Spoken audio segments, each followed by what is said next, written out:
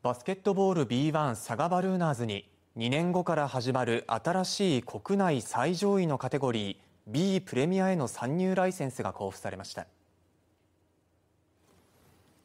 佐賀バルーナーズが戦う B リーグは2年後に始まるシーズンからクラブの運営の強化や成長などを目的にリーグを刷新します。佐賀市の事務所では田畑寿太郎社長やスタッフが東京都で行われた会見を見守っていました。続いてのクラブを発表します。佐賀バルーナ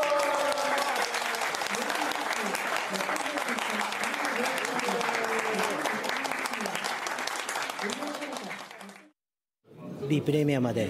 もう2シーズンありますがさらにあのやっぱり成長させていく。4シーズン後に僕らは日本一を取りたいというところがありますのでもっとあの成長を重ねてもっと地域の皆さんにあの応援していただけるようにあの今後も努力をし続けていきたいなというふうに思ってます。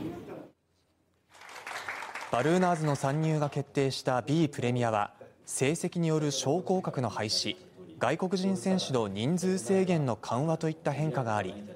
長期的なチームの成長と世界水準の競技力を目指します。